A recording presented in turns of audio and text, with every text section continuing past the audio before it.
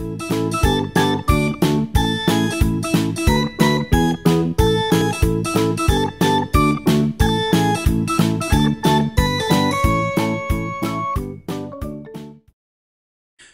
what's up there, YouTube friends? It's Grumpy Gamer Dad here, and this is the Minnie Mouse Main Attraction November merch video. You might notice it's being released a little earlier than usual. Usually, I have to wait two to three weeks after the uh, the free for all, but I actually have everything, and here's why. The day after I complained about Merch Pass never being selected, I got selected. I got this lovely email here saying that the pins had been reserved for me. But then my wife came downstairs and she said, Guess what? I just got an email. I've been selected for Merch Pass. I said, What?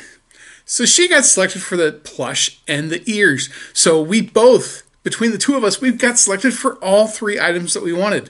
I had to wait to do this video because I was waiting on the pins, which should have arrived the fastest because they were in the smallest package, but that's not the case.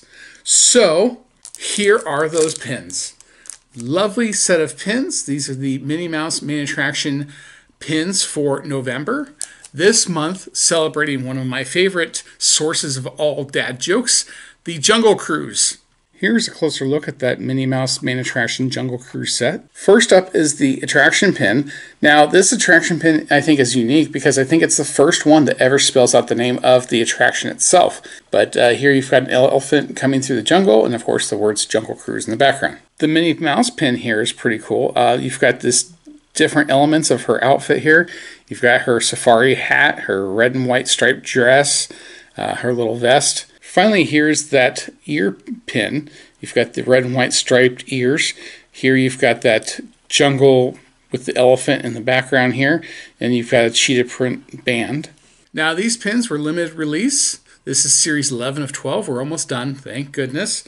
And these were $19.99. The next item that we have here are the Jungle Cruise ears. Here is that Minnie Mouse Main Attraction headband. You've got all kinds of different elements here. You've got the elephant, you've got some leaves, you've got some, uh, it looks like the shields they have, the, the villagers have. You've got some sort of, it looks like feathers coming off the top of it here too. You've got this red and white sequined background there. The other side, you also have that red and white striped sequin. This is interesting because the band is all cheetah print. So the Jungle Cruise ears were $34.99. This brings us to our final item, and this is the Minnie plush herself.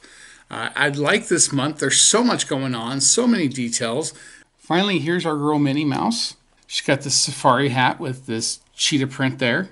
Up here, you've got this embellishment with an elephant uh, and uh, some feathers and leaves and stuff sticking out. She's got this red and white striped dress. You've got this little cheetah print belt here, a little overcoat she's got. Her shoes are also cheetah print there. You've got the seal of approval, Minnie Mouse The Main Attraction, Series 11 of 12. And of course, the obligatory tail check. Ours has a tail. So the Minnie Mouse plush, series 11 of 12, she was $29.99. There's only one month to go. They moved up the release date for the final merch pass uh, for series 12 of 12, this celebrating the fireworks.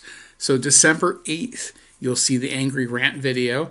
I still have to be angry, I think, because, well, being selected one time out of seven, eight, uh, is not a very good record, I think. But stay tuned because I will, you know, do the angry rant video, and then hopefully, if I get the merch, you'll see the merch video um, shortly after.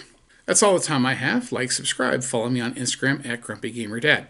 Until next time, this is Grumpy Gamer Dad saying, I finally got the Disney magic! But the series is almost over.